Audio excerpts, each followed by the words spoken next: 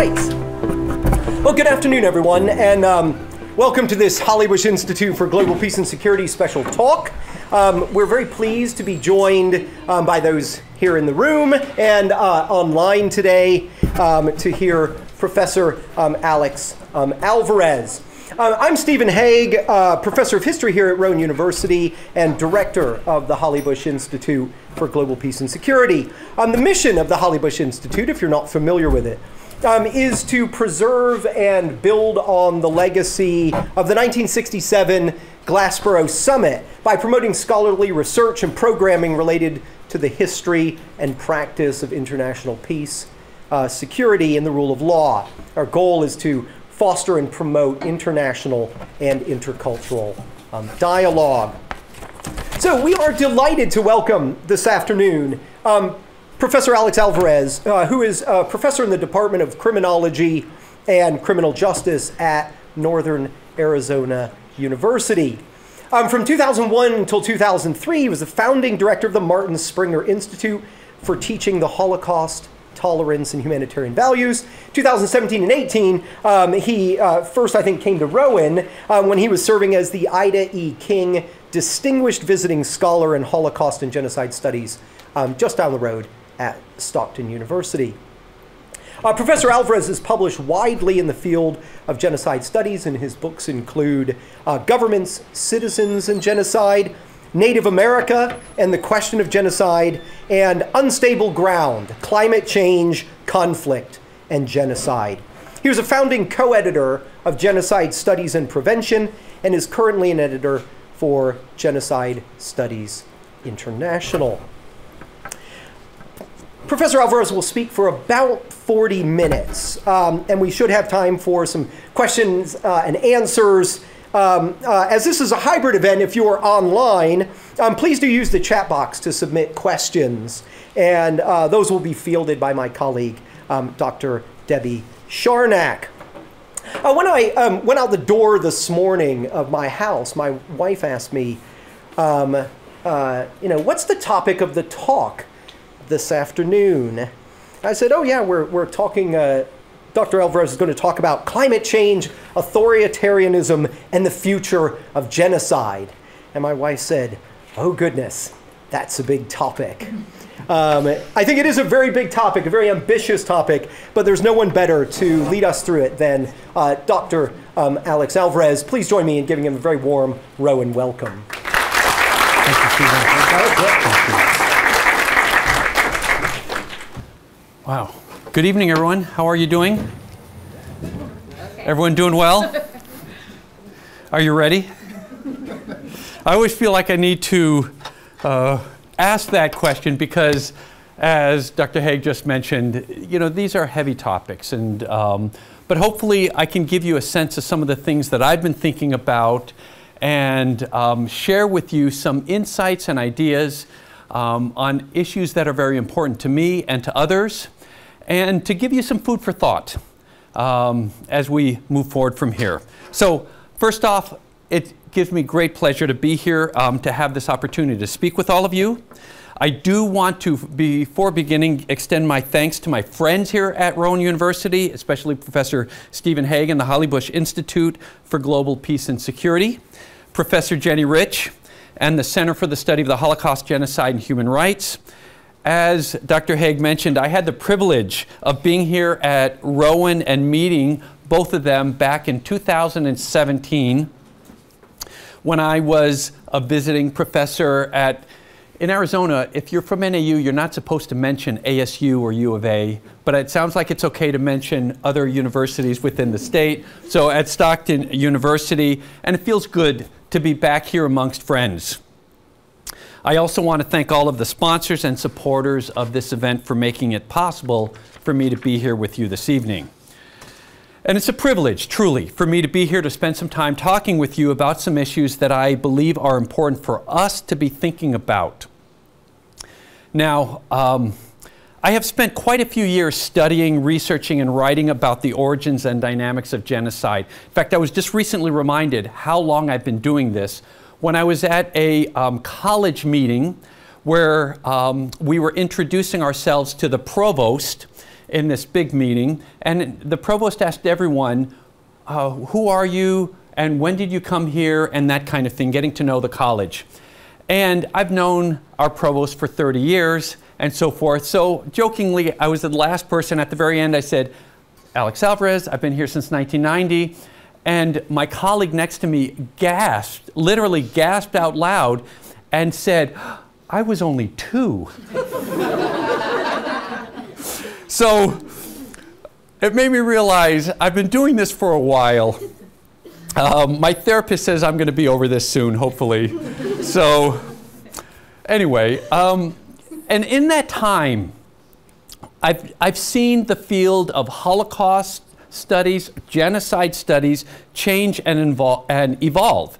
And what increasingly demands my attention is the struggle we are now facing to make Holocaust and genocide relevant to the lives, the concerns, um, to us living here in 2023 and beyond. It is increasingly difficult, I think, for young people sometimes to understand the importance of studying these issues, especially for some of the historic cases, uh, such as the Holocaust, that are moving from lived experience into history. Um, Holocaust and genocide studies, in my opinion, must be as forward looking as it is past looking. We can't focus solely on past instances of genocide without applying the insights and lessons to contemporary and even potential future cases. If we continue to ignore the relevance, the, um, the lessons in ways that connect with us here and now, we risk diminishing genocide studies into insignificance and even irrelevance. Um, and in fact, that is part of what the symposium that we are convening here later in the week is all about um, addressing. And it is in that spirit that my presentation this evening is intended. And the reason why I emphasize this point is that the lessons, the insights we garner from studying these past events is even more important than ever before. We just need to look around us today to see the importance of these issues. So I want to just briefly highlight some things that to me call attention to the need to study some of these kind of things. So as we speak here, the war in Ukraine continues to rage on. I think it's entering, what is it now? Its second winter. Um, even though it doesn't dominate the news as it had, and even though officials continue to investigate on the ground war crimes and possible charges of genocide. Renewed violence has broken out once again in the Middle East, um, with fears of it spreading and becoming much more regional, drawing in a variety of other nations. Genocide in China, um, largely cultural, but also with disappearances um, against the Uyghur minority group continues unabated. In Sudan, a coup attempt led to renewed fighting, while the world's newest nation, South Sudan, continues to struggle with armed conflict. In Myanmar, the Tatmadaw military continues to persecute the Rohingya minority, while Rohingya refugees in neighboring Bangladesh are increasingly targeted um, as hostility against them grows within the communities that they find themselves in. Violence in the DRC um, threatens to erupt again into large scale um, violence, um, in many ways aided and abetted by neighboring countries that continue to profit from its status uh, largely as a failed state. The human rights crisis that began unfolding last year in Nagorno Karabakh with blockade of the Lachin corridor ended with the Azerbaijani takeover of Artsakh um, and what is arguably an ongoing case currently of ethnic cleansing. The Horn of Africa continues to struggle with civil, uh, with food insecurity and the risk of widespread famine and civil unrest in a region that has in recent years been marked by civil war and insurgency and um, other kinds of conflict. Social unrests, protests, and violent crackdowns continue in Iran. There are many other examples that I could mention, but I think the point is clear. I, I, I could go on like this for the next hour. Um, the world is rife with conflicts, potential conflicts, incipient conflicts, social and political instability, and other issues that illustrate the relevance of genocide education and awareness. Keep in mind, one of the underlying facilitators of almost all examples of genocide historically and in the contemporary era have been other wider conflicts and genocides erupting either during or in the aftermath of those other kinds of conflicts. Now, in recent years, my own work has focused on a particular issue which involves exploring the ways in which climate change will heighten risk factors for the development of violent conflict, including things such as riots, pogroms, war, and even genocide. Now, even though climate change is by now a largely accepted reality, a lived experience, as we are increasingly understanding, most attention, however, continues to focus on what this means for the natural world around us. And that is important. I'm not trying to diminish that.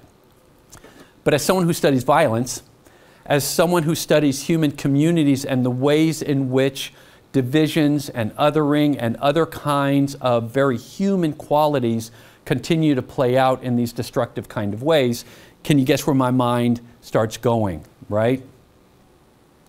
Historically, it feels to me like we have largely felt that we exist independent from the natural world around us. And I think that is something that still very much dominates our reporting, our understanding, our reviews of uh, climate change and its impacts.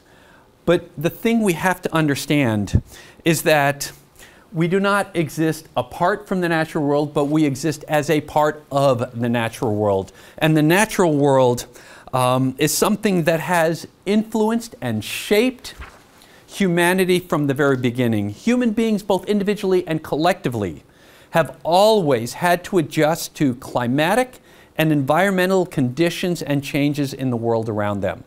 Civilizations have risen, have fallen as a consequence of climatic conditions and changes. And as techno technologically sophisticated as we now are, this fundamental reality has not changed. For all of our tech, all of our gear, all of our modern conveniences, the world around us still shapes us in very deep and profound ways. And what I want to suggest to you is that climate change will increasingly challenge the ability of communities, of nations, and regions to cope, to ameliorate, and adapt. Now, there's a lot to this. I don't want to go into all of the weeds with you, but to give you a sense, what I'm going to be suggesting is that what we are seeing now, the thin end of the wedge, so to speak, more extreme weather, more weather variability, weather related disasters, and all of these will serve to act as stresses. They are challenges that communities, that nations need to confront, need to adapt to. And if they are unable, because they lack the adaptive capacity or the resiliency or the human or economic capital, right? Money, for example, to address these changes, they risk greater social unrest, the rise of alternate centers of power. Think about terrorist movements, extremist groups, and so forth who come in filling that gap.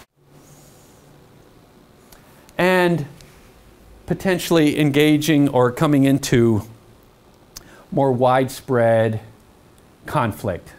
Okay, climate change impacts. We are seeing this around us all the time. I, I participate in a speaker series every year in Sonoma uh, California, Rohnert Park, beautiful part of the country. When I first began speaking there, people were kind of like, okay. Now, when I go, they get it. You have a state that has had catastrophic wildfires, resulting in a lot of loss of life, loss of property to the tune of billions of dollars. It has a state that has whipsawed back and forth between extreme drought and excessive snow and atmospheric rivers that have resulted in widespread flooding.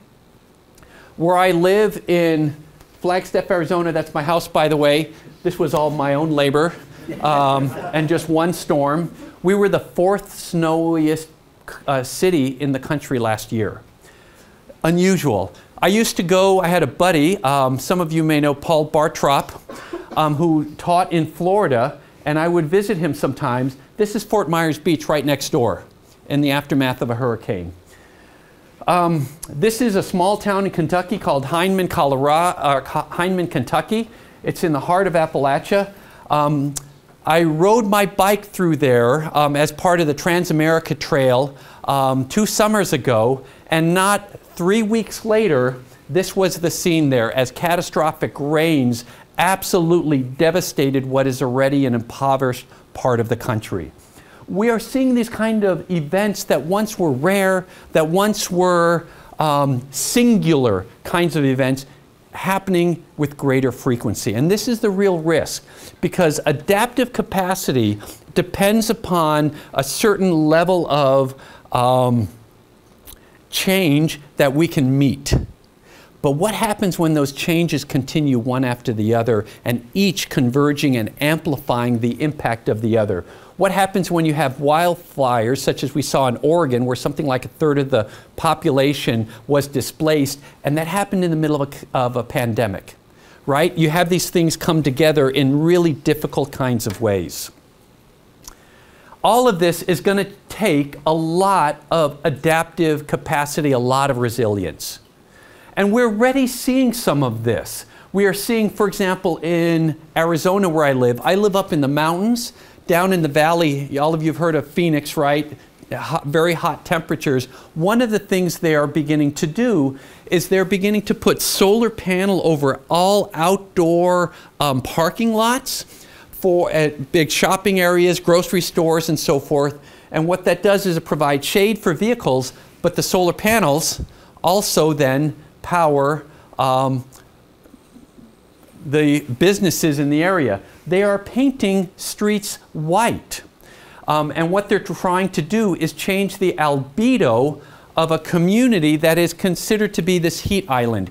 In other words, you have heat that hits Phoenix during the day. It's absorbed by all of the asphalt, the cement, all of the bricks. And what happens is at night, that heat that is trapped in those is radiated out. So Last summer, you had Phoenix experience over 30 days of 125 plus degrees temperature, where people, when you fall, you get second and third degree burns.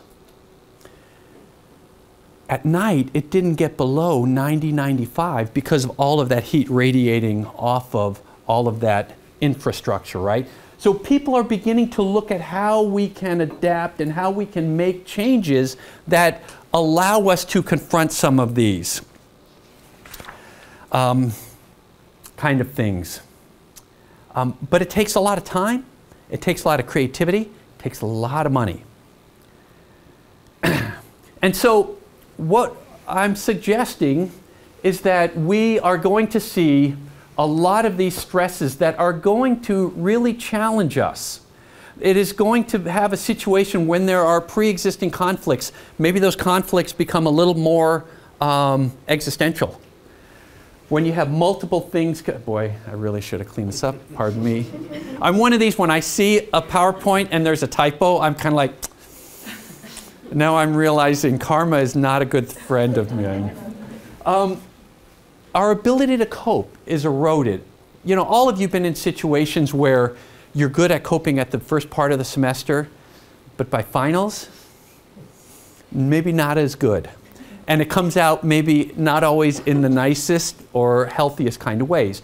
Well, that's true for all of us. That's true for us collectively, where we've got a certain ability to adapt, but boy, once you pass that threshold, it, it gets hard. And what happens when we look at it communally is that pre existing schisms, pre existing tensions, can be heightened or amplified, where small differences around race or ethnicity or religion or politics can take on whole new dimensions, where existing social and political instability is just increased. And fragile states become more fragile and, and so forth and so on. You get the point. We could talk about this for a very long time. But I think you get the point, right? These are challenges that we increasingly understand we have to confront. And it's difficult to do so in a world that is becoming more unpredictable.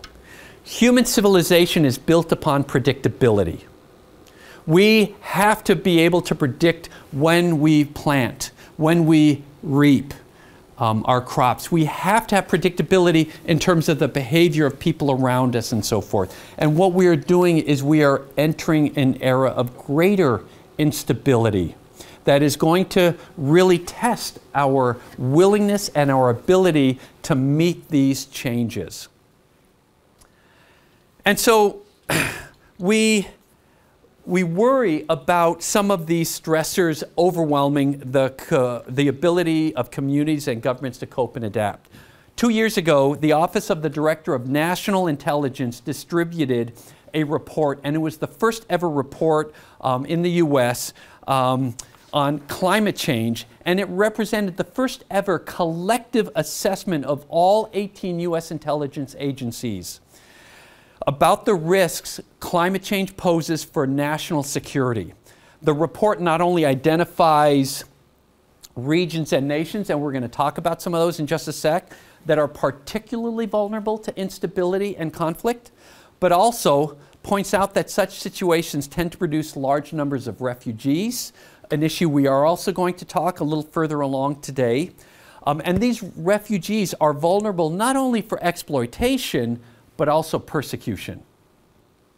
They can stay, uh, destabilize surrounding regions and they create, just at a human level, massive humanitarian disasters. Another US government report released around the same time details the um, up to now financial and human costs of climate change and then projected it forward and concluded that climate change will cost hundreds of billions of dollars every year just in the US alone. And it will result in thousands of additional deaths from the direct and the indirect consequences of a warmer world. Can you guess at this point why I don't get invited to a lot of parties? Oh no, here he comes. All right. We have to understand that in many ways, these impacts will negatively affect us in interrelated ways around infrastructure and transportation, energy demand and production, domestic and international trade, clearly agriculture, fishing, tourism, water availability, healthcare, and every sector of society. And these consequences are not limited to the US, but are truly global in their impact. There's no nation or region in the world not affected by these consequences. So, where do we see some examples that can help provide some of what I'm talking about? and even with a few examples to illustrate how we are beginning to see some of this. So for example, generally speaking, North Africa is considered to be at high risk because of low adaptive capacity and low resiliency. And the reasons for it are things like environmental fragility, desertification, drought, and endemic poverty. And we find, for example, a very recent report um, has found that Lake Chad, which is um, in this area where there are five countries or four countries. What is it? Four here. I think there's a fifth very close here. Um, it is a vital support, uh, source of water for this part of Africa. It has shrunk by 90% in the last um, 60 years because of drought, irrigation, building of dams, and population increases. And what this has resulted in, that is happening now, even though it's not in the news, is that it's fueling violent conflict, migration, and extremism. What do you think it means to be a fisherman who goes to work every day now armed with um, AK 47s to protect your fishing grounds? herdsmen and farmers and others are increasingly coming into open, violent conflict with each other because they're struggling and fighting with each other in an effort to survive. right? It is literally about life and death, having access to this much diminished source of fresh water in a region where fresh water is, um, is, is, not very common. The report um, that I saw recently found that um, this has fueled vital extremism. Um, think groups like Boko Haram, if that rings any bells for you. Um, it has displaced something like 3 million people and it has uh, left around 11 others, uh, 11 million others in need of humanitarian relief. Just a bit further north, um, in Tunisia, President Kais Saied has been purging political opponents, politicians, journalists, activists, judges, and others as he moves his country towards more authoritarian rule. Now, one tool he is using is racial fear and othering.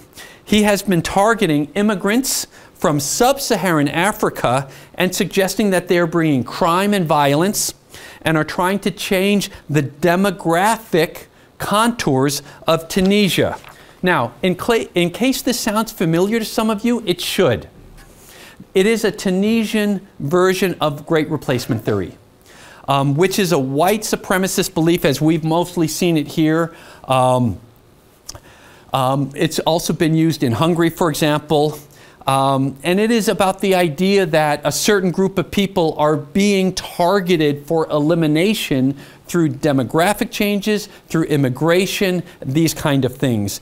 Keep in mind, here in the US, most of the perpetrators of mass shooting events in the US Think about the grocery store in Buffalo, New York, the Tree of Life Synagogue in Pittsburgh, the Chabad in Poway, California, El Paso Walmart. All of those shooters, think also um, in New Zealand, the Christchurch um, uh, mosque shooter. Um, all were subscribers, if you will, to this great replacement theory, sometimes also known as white genocide. Um, okay. West Africa is also considered to be at high risk with low resiliency and, and low adaptive capacity, largely because of endemic political corruption and pervasive ethnic conflict. The conflicts of the past often have a long shelf life, and those divisions can be resurrected in contemporary crisis situations. We see in Nigeria, for example, increasingly violent conflict between herders and farmers as resources become more scarce. It is a violence that is often amplified by tribal and ethnic differences. To make another connection for you, let us not forget that the 21st century's first genocide in the Darfur region of the Sudan had many of the same kinds of dynamics. This is not there yet, but it could be. Similarly, we see that the Indian subcontinent is also at high risk for conflict and violence for some of the reasons you see here on this slide. And we can see some of these issues at play in the increasingly heated conflict around border issues in the Kashmir region of India that has actually recently erupted into violent, albeit small scale, and very localized border clashes. And really, what it comes down to, in many ways, it's about access to water, which Kashmir is rich in, but which all three nations not only want, but need for their industrial, agricultural, and community needs. Now, this is scary since all three are nuclear powers. Both Pakistan and India have fought wars in the past. We also know that India has become mu much more authoritarian in recent years, and its politics are increasingly ethno nationalist in orientation. Now, Europe and North America, on the other hand, are generally considered um, relatively low risk. Much of it um, is because of wealth that makes adaptation possible, right? It costs money to build new or retrofit existing infrastructure, to build and rebuild, to get supplies and resources for those impacted by disasters, changing environmental conditions, to relocate populations after disasters. But even this is finite. And even this varies tremendously depending on a variety of various kinds of political, social, economic, and other kinds of factors. And these consequences, the ability or inability to deal with these kind of things, is not just always localized. And if we look at Eastern Europe, for example, where, as we all know, Russia invaded uh, Ukraine, a, a, conflict that actually began years earlier, and I think it was 2014 when Russia went into the Crimea. This has been a continuation of that. It is a war that has been marked by not only war crimes and massive human rights violations, but which is also potentially genocidal given the attempts to destroy national identity in Ukraine, the destruction of symbols of Ukrainian nationhood, and the removal of Ukrainian children um, from their families, from their communities. While this war is not, I would argue, an example of climate induced or climate facilitated conflict, it does illustrate some important points. While it is portrayed by the Russian leadership um, as a defensive war against Ukrainian Nazism and the influence of the US and the West and so forth, we shouldn't neglect the fact that the eastern portion of Ukraine is incredibly resource rich with mines and industry. In fact, eastern Ukraine has Europe's largest deposit of rare earth minerals.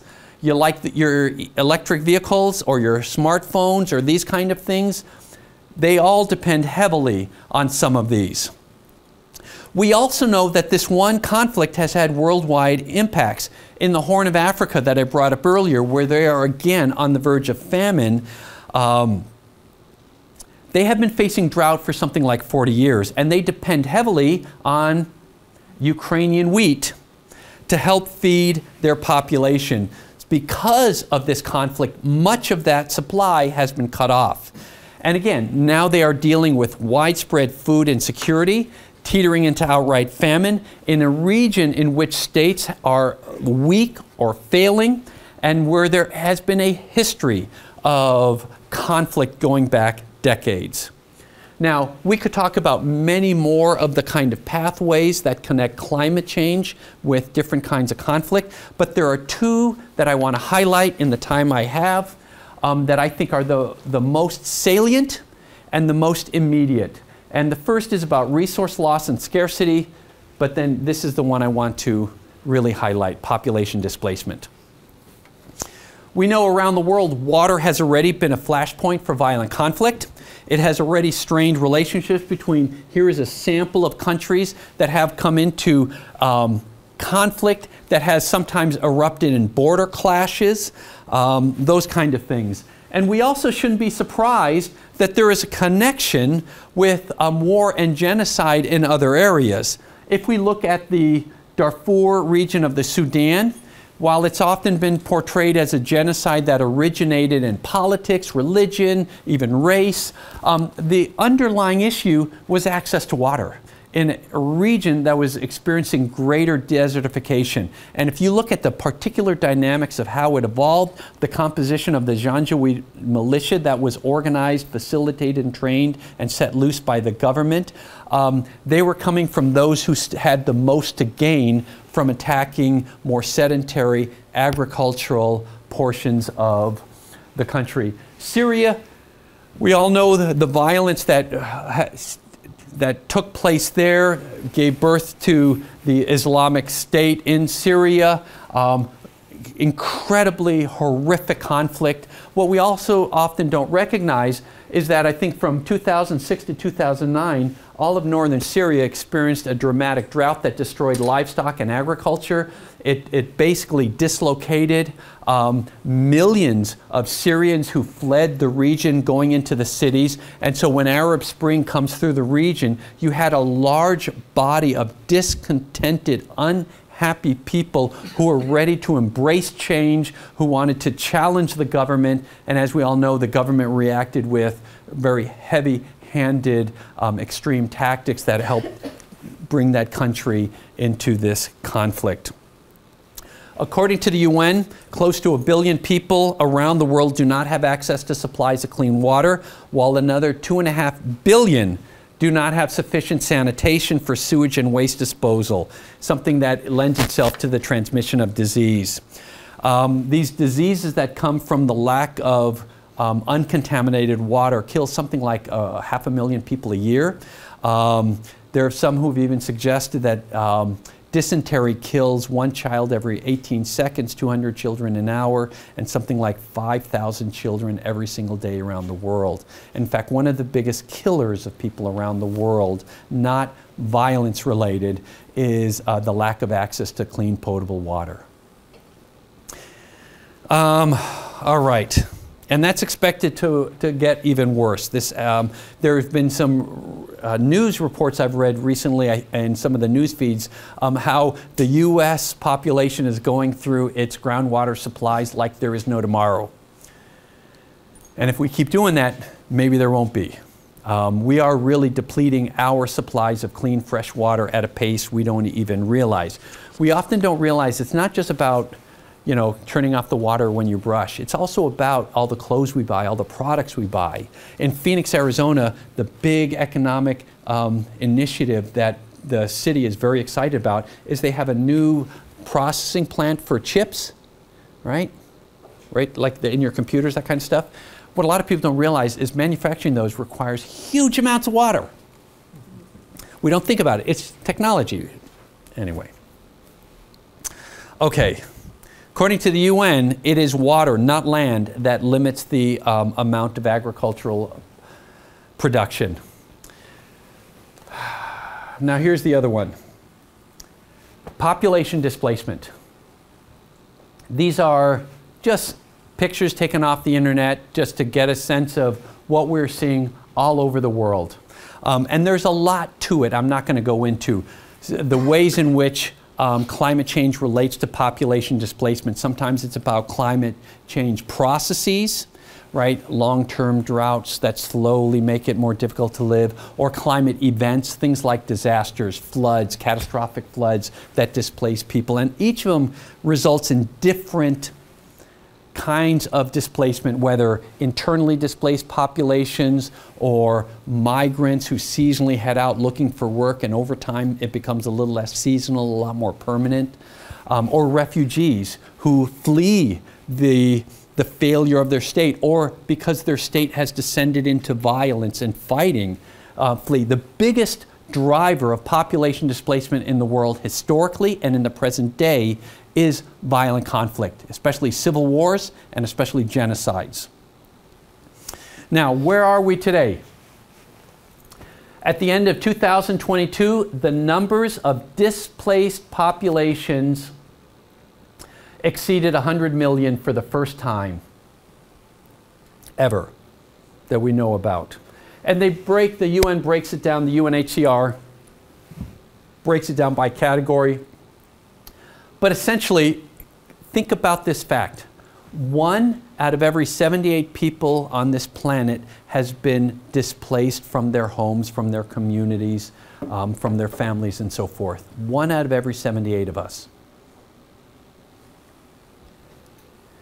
And what we are seeing as a consequence to these rising numbers of people who are fleeing their countries, who are fleeing their homes in search of what? Safety, security, opportunity, the ability to sustain their life. What they're experiencing increasingly is a lot more rhetoric, hate, violence um, in places all around the world. We have seen even in ostensibly progressive forward-thinking nations such as what in Western Europe, for example, you know, countries we often associate with some of the uh, advocacy they've done over the years in terms of international human rights law, in terms of protection of refugees, the Schengen Agreement, these other kind of things. Even in those countries, we are seeing a huge increase in support for far-right political parties that typically gain a lot of electoral traction on explicitly anti-immigrant rhetoric. And we see this in Germany, we see this in Denmark, in France, in Italy, in Spain, in Greece, um, in Sweden. I mean, countries, some of them that you would not think of, right? Um, remember Brexit a few years ago? the number one reason that people gave the it was 33% of all the respondents in terms of why they supported it guess what the issue was that was the issue for them immigration all right so and so that's where we are now one out of 78 uh, just over 100 million okay so we are somewhere right around here you with me it's a lot of people the International Organization on Migration suggests that by 2050 it might double. Christian Aid has done some work on this. They suggest it might be 700 million. Most recently, the Institute for Economics and Peace did a study and they suggest it may well exceed a billion people by 2050. The human climate niche is shrinking the areas where we can live, right, comfortably at least, and in some places where we can live just period, that niche is shrinking. And we are going to be seeing a lot more people on the move. But we're not alone in this. Or I should say, let me put it slightly different. We're not exempt from this we often think of this as a terrible issue for those people, right? These faraway places and so forth. The US government came out with some projections looking at this issue and suggesting that um, something like one out of every 12 um, in the US will, in the coming years, be on the move. Sometimes it will be because of heat, people moving north and especially west. A lot of this has to do, especially here, are you familiar with wet bulb temperatures? Right, where it's heat combined with high humidity, and so it compromises your body's ability to cool itself. Um, and so people are going to be leaving the Mississippi River Valley and other areas that have a lot of heat plus humidity. Wildfires,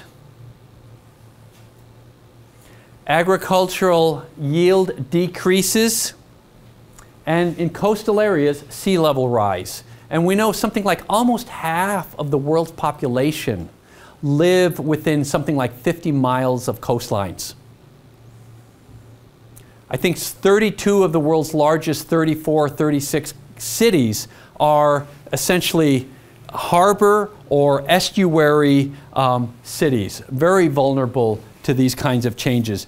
And the one thing we know, history teaches us that rapid population displacement results in a lot of social upheaval, higher crime rates, higher social inequality, and so forth. This is something criminologists have long studied. And so one of the real fears that some criminologists are beginning to look at is what is this population within the United States? What is it going to do to those communities that are on the receiving end of these large numbers of um, people?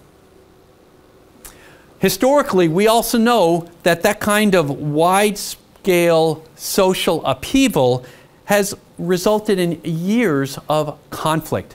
For those of you who are students of history, if you think about the end of the Second World War, um, the end of the Holocaust, we think we have this image in mind of VE Day and you know, you know, sailors kissing women in Times Square and celebration, and the world went back to peace. The reality is that Europe was a, a continent um, in transition for decades with ethnic cleansing, with persecution and pogroms, civil war, revolution, um, you name it, that persisted for many, many, many years. So the question is okay, so we're running out of time. I'm just going to move this along here. Um, we need to understand displaced populations are often very vulnerable. Um, the legal protections for people who are displaced are, are very limited.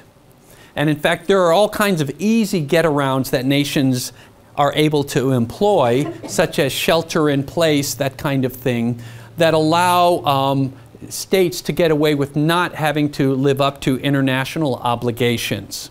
Well, what happens when those numbers increase dramatically? We like to think of our rights as being invested in ourselves as individuals. Right? Inherent, or uh, the term you're probably familiar with, is inalienable. The reality is, it's states that protect your rights or choose not to. And refugee populations lack power. Think about power in different ways. Power can be economic, it can be social, it can be political. It's manifested in many different ways. But refugee populations are atomized, they're fragmented, they lack economic capital, political capital, and the social capital that comes out of that atomization, that fragmentation. And the protections that we have in place are inadequate, to say the least. This is all happening at a time. I almost feel like, okay, that's good for tonight and tomorrow, part two. I wonder how many of you would be back. Um, it's happening at a time when we are seeing an increase in authoritarianism, and I'll, and I'll explain why this is important. We are seeing liberal democracy has been on the retreat, authoritarianism, ethno-nationalism, in other words, national identity nationally or narrowly defined around particular identity markers, right? You belong to a certain ethnic group or tribal group or religious group or so forth. Those are on the rise. Authoritarianism is particularly dangerous for the kind of violence that scholars of genocide and mass atrocity crimes um, study. When we think about authoritarian states, there are generally fewer constraints on the exercise of power. There's a greater um, amount of suppression of dissent. They tend to be more reactive, more extreme in their solutions. And authoritarianism is often built upon narrow notions of who belongs and who doesn't. And what we've seen around the world, even ostensibly stable democratic societies, um, have been failing, have been backsliding, to use this term. In fact, the U.S. was, for the first time last year, ranked as a backsliding democracy. Surveys have shown that young Western Europeans and young Americans are less supportive of the messy business of democracy and more supportive of authoritarian leadership and solutions right? We want someone who says they've got the answers, they know how to fix things for us, and they know how, who to blame. It's appealing. But this is worrying in a country that prides itself as this, what is the term, the, the beacon on the hill, to have young people expressing less and less support for our, what we define ourselves as being a, a paradigm, a paragon of. Um, so, what happens when these people are coming into communities? And think about this millions of people on the move, and that number is, ah, it's a number. But when you think that all of those numbers represent people like us, and I think about the people who engage incredibly dangerous journeys, such as across the Darien Gap um, from South America into Central America, or people who risk not just themselves, but their children, their families, in dangerous crossings of the Mediterranean. And by the way, the Mediterranean is now the world's most dangerous border there is uh, in terms of the number of people who've been killed um, you've got to be desperate to put yourself in that kind of risk. What are they going to come to? They're going to be coming in countries that are going to be doing, um, are struggling in their own way to deal with these kind of issues. And it's easy to understand how these kind of processes can make communities less than receptive, less than open to greeting these strangers, these newcomers to their shores. We know that when people are scared, when people are anxious, when people are uncertain, it brings up fear. And fear doesn't always bring out the best in us. In fact, what we know, um, there's a lot of research that shows during tough times, people become more reactive, more willing to support tougher policies, more willing to support leaders who embrace getting tough on this issue or that issue. We also have to understand that the ways in which persecution can play out in its most le lethal form is not necessarily going to be what we've seen in the past.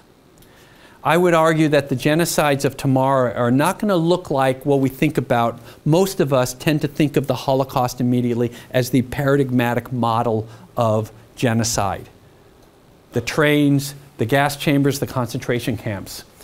Um, but I don't think the genocides of tomorrow are necessarily going to look like that. Um, are we going to live in an era where we begin triaging populations, where we think about that medical terms, deciding who gets the resources and who doesn't? During the Cambodian genocide, the Khmer Rouge had a phrase to keep you is no gain, to destroy you is no loss. Is this a mindset that we are going to see increasingly as people are struggling with these existential questions within their own communities?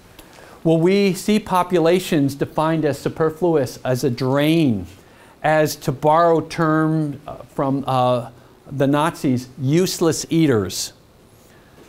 Um, people being seen as expendable. There's a term that was developed a number of years ago by a, um, a very, uh, an amazing genocide scholar, a woman by the name of Helen Fein. And she talked about this idea of genocide by attrition, where you kill through neglect. It's not about physically attacking, but it's about keeping people in conditions or in places where they're unable to sustain their lives. It is something that you can say, we're not doing anything, we're not, you know, we're not trying to hurt anyone, but those policies, the consequences of those will be destructive. And for those on the receiving end of this, it doesn't matter. Genocide through intentional neglect. But there's still hope. And I will tell you this I am more hopeful today than I used to be. Now, it might be therapy, it might be drugs, we don't know, we're not going there. Um, but in truth, I do think there's a lot more room for hope than, there, than I had when I began doing work in this. Keep in mind, what I've been talking about here, we're talking about worst case scenarios, where this can go if we don't pay attention, if we don't work to ameliorate this. I've been studying violence for over 30 years now. And the one thing that all violence is, it is contingent. And what I mean by that, it is about choices.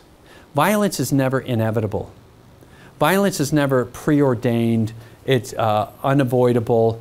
Violence is all about um, choices that people, that communities, that groups make. And we also know that communities can come together, not just come apart.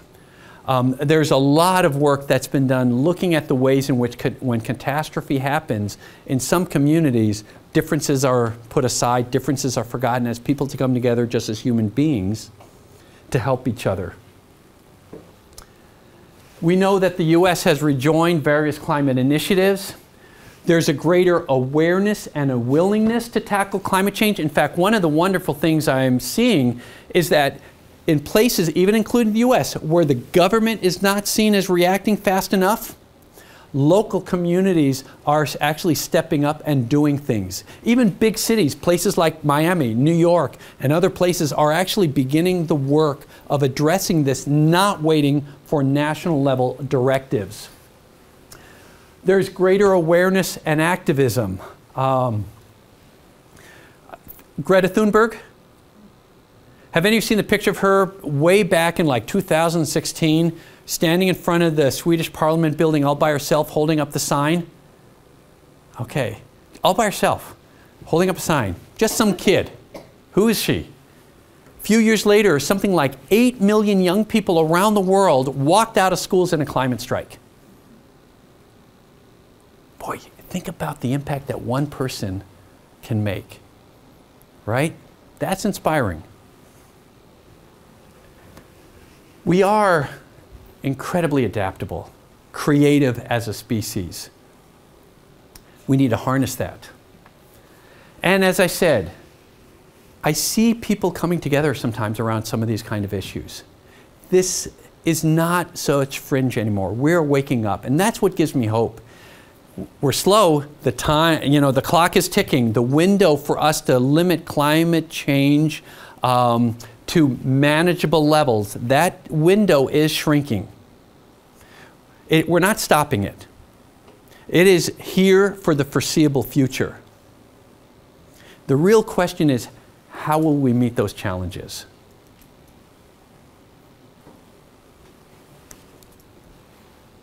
You like those pictures, by the way? Yeah.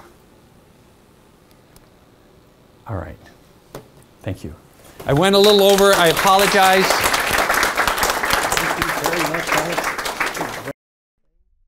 All right. Thank you all very much. Thank you, Alex, for a wonderfully wide ranging talk. Um, if there are questions, um, which I'm sure there will be, um, if you could just wait, I, I have a microphone to bring around. So um, if you could uh, raise your hand, I'll bring this around to you or pass it down to you. I'm curious, you were saying research has been done about communities coming together in a crisis, mm-hmm. not falling apart. Um, I'd be curious to know kind of what some of those factors are. What what's the difference between a community that comes? that's the that's an incredibly important question, right? Um, I think about the work, for example, Sebastian Junger in, I think it was Tribe or Tribes that he wrote about uh, some of these issues. Um, there's a book that came out not so long ago called A Paradise Built in Hell. Um, these are a couple of examples, good accessible reads to, get, to look at some of these issues. Typically what we find is that uh, these are natural disasters that have happened, things that are calamitous. Um, think about uh, avalanches or, or flooding.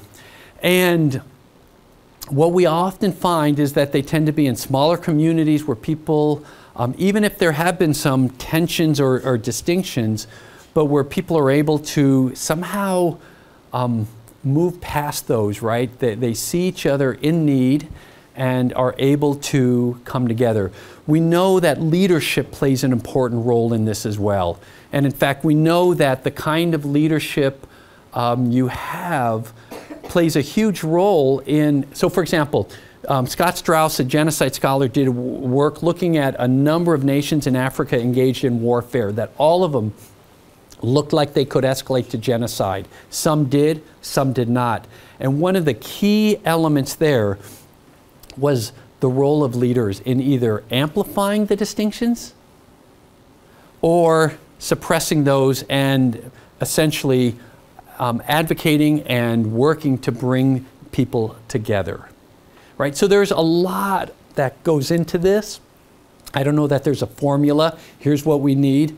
But there are some very interesting patterns to some of these that I think we really need to begin taking a hard look at and how we can work on nurturing and fostering those tendencies rather than those of division. Yeah, talk about the future of Holocaust and genocide education. Mm -hmm. Yes, thank you. Thank you. Excellent question. Wonderful. So there's two questions online. Maybe I can okay. ask both of them, and you sure. can, um, you know, take whichever one you want, or both in turn. The first one is from Paul C, and he asks, "What can we do as educators to be part of the solution?"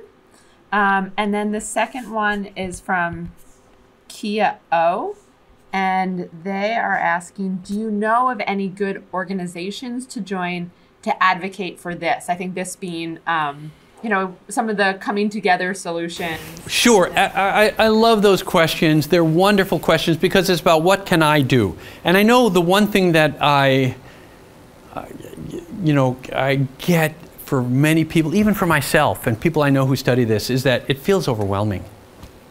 It's just so huge, so depressing it's a lot easier just to, you know, watch the latest, um, I don't know, Reality TV. show. Yeah, exactly. I, I don't know. I was going to come up with something funny. I couldn't even think of anything. Sorry. Um, so there are a lot of organizations out there. And, you know, what I would suggest is this. Do your homework, look and see what's out there, and then just pick one.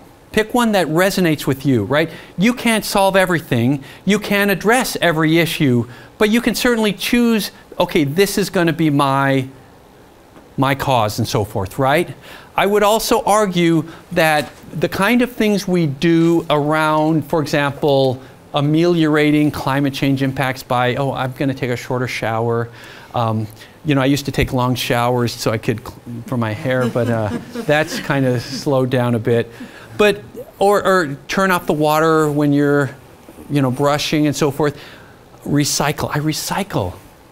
You know, I'm doing my part. The reality actually is you can, we can all recycle till we're blue in the face and save water, and it only represents a tiny fraction. What's more important is how we as uh, communities and nations um, relate to the world around us in terms of our consumption, right? So think about how we consume and, and think about putting pressure on or using our voice as citizens to elect individuals, right, to positions where they can make big impacts in regards to these big industries and so forth. And we are seeing that.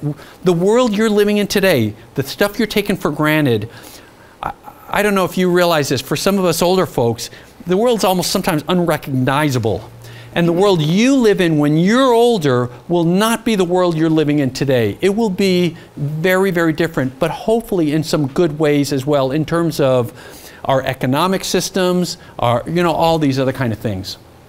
So I'm not going to say like this organization or that, or there's so many out there, honestly. But here's where I will also say something even more practical. It all it begins at home. And in this context, I'm not talking about climate change per se, I'm talking about the consequences of climate change. And this is something I've, over the years, giving talks about genocide or the Holocaust and so forth, you know, and the lessons and all this other kind of stuff. The real question, what it comes down to, is how do we treat people in our own community who are different? Do we turn a blind eye to the suffering of others? Do we stand quietly by while others are persecuted? Right? These are ways we can all make a difference. And in the aggregate, those are powerful. And what gives me hope is I see young people today who are more and more willing to want to live lives that matter, that make a positive impact on the world and on others, uh, rather than just taking and consuming and those kind of things. I don't know if that directly answers those questions. I hope it kind of gets towards what the questioners were asking. Those are great questions, so thank you for those. But um, that's what I got. Oh, hello. I'd just like to thank you for like coming out. Um, but uh, so in terms of like governments like reacting to like genocides like that are currently, do you think like they should be like stay like mind their own business or like kind of like you know like when Hitler was going across to other like places like start having some intervention at some point like do you think there should be like a lot because it's I don't know. Wow. Like Thank you for that thing. very easy question to answer. yeah, because like because like obviously like in history we haven't been doing or like mm-hmm. right now we're not. But uh, you know this is one of the stumbling blocks when it comes to genocide and mass atrocity prevention right? We live in a world dominated by the nation state system. I'm sure all of you are familiar with it. And one of the bedrocks of that is this notion of sovereignty, right? This idea that um, within states, you have the legitimate governments have the sole authority within it, um, within that bounded container. The, there is no simple answer to that question. And there have been attempts to weaken sovereignty, um, but that's often been met with a huge amount of resistance, right? And it doesn't help that nation states have often been very selective about when they use the G word and when they don't, and has a lot to do with their own interests, their own alliances, and so forth. I still remember back in the 90s when um, Rwanda was in the news, the nightly news. This was in the days when I had to turn the dial myself um, every night there were horrific scenes coming out of Rwanda that clearly were genocidal. And the State Department did not want to use the word genocide, so kept dancing around um, its use of the word. Um, but actually, something even worse happened is we started using the word genocide, didn't do anything, and nothing happened. Oh, okay.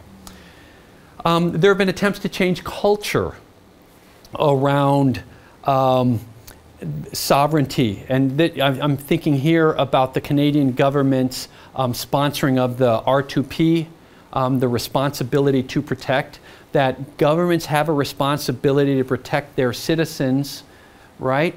And when you're not doing that, other states have an obligation, if you will, or a responsibility to intervene. The problem that we know is that the kind of interventions we think about when we think about genocide prevention tend to revolve around immediate action tools, which generally revolve around the military. And as we know, that is a fraught um, uh, option. That very often, it, the kind of military intervention we want to engage in is um, comes with a lot of, um, I hate to use this term, but a lot of the collateral consequences, right? Um, where you, you have it spiral in ways that were not predicted, right? I think, for example, about the invasion of, the US invasion of Afghanistan um, or Iraq, um, things like this. Um, for my money, real genocide prevention happens a lot for a lot earlier. If you're at that stage where you're having to contemplate a military action to prevent an ongoing human rights crisis that's happening at your doorstep, um, it's, it almost feels like it's too late. That a lot of work has to be done beforehand um, in regards to not just using all of the suite of tools, whether it's diplomatic, economic, um, communication and uh, pressure, you name it. There, there's a whole array, right? And there are those who have um, really taken a hard look at some of these. I think about Jim Waller's book um, on genocide prevention. Scott Straus wrote a book on genocide prevention, and all of them, you know, illustrate so many of these techniques. I don't know of an easy answer to your question, to be honest. Um, to my way of thinking, we need to get better at, uh, at addressing the underlying issues that make populations and leaderships vulnerable to what we can call that genocidal impulse so that we don't arrive at that place where we're, we're contemplating going in with military forces. Does that make sense at all? Yeah, completely. Yeah. yeah. Um, but we've not been very good at it. Um, and in fact, one of the things, all of the progress we've made in terms of reducing um, extreme poverty and um, food insecurity and so forth, many of these advances that have been hard won have been um, set back years, if not decades, by this pandemic, right? That we are still now still kind of coming out of, if you will. Great question. I wish I had a. a I feel like I'm that typical academic. It depends, or you know, I never give you a straight answer, but I, I don't know that there is an easy answer with something like that. It's something a lot of people are working on. Thank you very much. Thank you. Um, so you said that the U.S. is not exempt from all of these issues, right? Um, and I wanted to know if you, in your studies, have experienced or like um, seen a difference in the amount of violence or you know unrest within the continental U.S. versus remote U.S. and the territories that exist, like like Puerto Rico and. So have we seen more violence? Yeah, like violence and unrest and within the U.S. versus their like the continental U.S. versus the, their remote territories like Hawaii, Alaska. I have not uh, specifically focused on different U.S. territories or protector or anything like this, but here's what we do know has there been a backlash against uh, refugees and immigrants here in the United States? Absolutely. Have we seen record levels of hate crimes in the U.S. in recent years? Absolutely. In fact, we've just seen another huge spike in anti Semitism. But that's something that we've been seeing now for uh, quite a number of years. Um, we are seeing more and more um, rhetoric and anti refugee anti immigrant imagery, um, hate speech, and violence accompanying that. And we've seen this against Asian Americans, we have seen it against blacks and African Americans, Latino populations, uh, Native populations, and anti Semitism. Um, the two most common forms of hate crime in the United States currently are those which target blacks and African Americans, and those um, religiously based anti-Semitism is by far. We've seen Islamophobia increase um, uh, significantly, but it is anti-Semitism which is still the most common. And so the fear is that uh, these things are often linked. So, for example, the Tree of Life shooter, who was recently convicted in federal court, I believe, right? He went into the synagogue in uh, Squirrel Hill, uh, Pittsburgh. He had been radicalized online, and um, his belief was that wealthy Jews were funding caravans of refugees and immigrants from Central and South America to come into the U.S., to destabilize the U.S., and to essentially replace the white race. So, what we're seeing is these things come together, right? So, these kind of prejudices, these old ideas are, are being reshaped in modern times right? And it's crazy to me. Ideas that came out of the Middle Ages, things like the blood libel, the protocols, and so forth, we're seeing them reappear in different guises, right? Um, so the answer is yes. We are seeing some of these things now. We're seeing backlashes in some communities where we're seeing we're on the verge of another great era of American relocation, right? maybe your parents or grandparents' generation was from the Rust Belt to the Sun Belt, these kind of mass changes. And these often came at a significant social cost in terms of, you know, inequality and, and all kinds of, of stuff. We're, we're, we are starting to see more and more of that. Um, so the answer, in short, is yes, we are seeing that here. Um, the things we're seeing in Europe, the things we're seeing in other places, they're, they're local as well. Thank you. Yeah. I think we've come to the uh, the end of our hour. Um, we do have um, some nibbles and some drinks out in the uh, the hallway, so we'd invite you all to uh, to come out and join us and to uh, to chat a little bit more uh, informally with uh, with Professor Alvarez. But before we bring things to a conclusion, I hope everybody will join me in putting their hands together and thanking him for really wonderful.